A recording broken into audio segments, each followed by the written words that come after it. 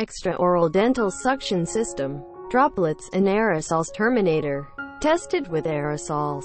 Ajax extraoral dental suction system being tested with aerosol by using PM2.5 as the aerosol sample, and tested by professional PM2.5 device. Before the test, the indoor PM2.5 concentration was 48.3 micrograms per cubic meter, which within the normal concentration range.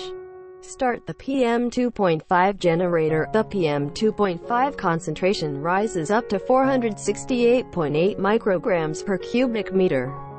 Now start the extraoral dental suction system. The PM2.5 concentration drops rapidly. Finally, the PM2.5 concentration stop at about 44.3 micrograms per cubic meter, which is within the normal range.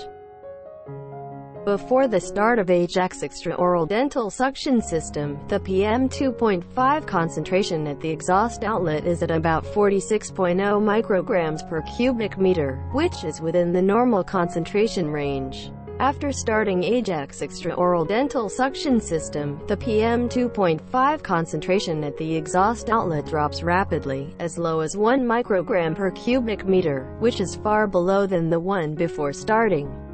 We use heavy smoke in our testing room to test the superfiltration ability of our extraoral suction system.